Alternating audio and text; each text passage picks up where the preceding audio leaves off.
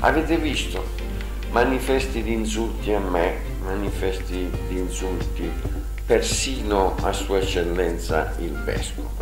È il confronto di questa campagna elettorale. Da una parte noi che vogliamo amministrare questa città, dall'altra loro, il loro odio, l'odio per noi che nasce dalla consapevolezza che dopo la nostra vittoria elettorale sarà piazza pulita.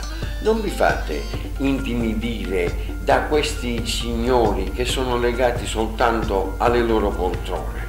Usate bene questa famosa matita. Il 31 maggio mandiamoli a casa, mandiamo a casa anche i diffamatori.